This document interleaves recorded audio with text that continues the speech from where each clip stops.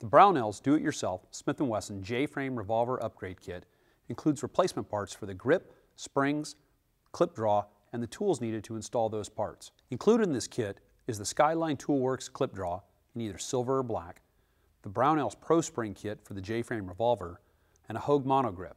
Also included in this kit are a Magnatip screwdriver handle and a special collection of Smith & Wesson bits and a Brownells Smith & Wesson rebound slide tool.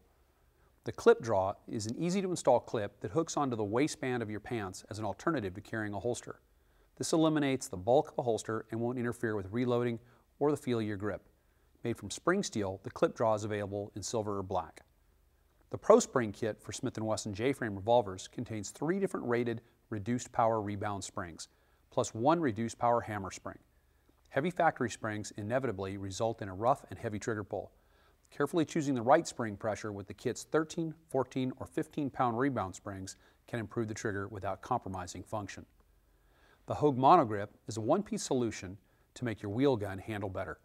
The single-piece rubber grip slides onto the revolver frame from the bottom, requiring no modification to the firearm. Monogrips not only dress up the gun, but they're also designed to provide optimal pointing characteristics. To make the job simpler, the kit also contains the Brownell short shank Magnatip handle with three custom bits for Smith & Wesson revolvers. The bits will fit the strain, windage, side plate, and side attaching screws. These short shank Smith & Wesson bits are hollow ground to transmit all the energy of twist or torque evenly and smoothly. The Magnatip handle positively retains the bits and allows for fast swaps.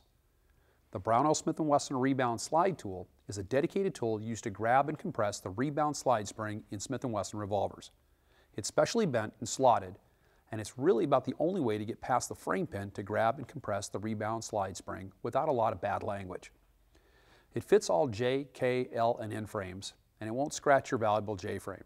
All the parts and tools in this kit, like all products sold by Brownells, are backed by our 100% unconditional lifetime satisfaction guarantee. To learn more about installing the Brownells Do-It-Yourself Smith & Wesson J-Frame Revolver Upgrade Kit, please watch the accompanying installation video.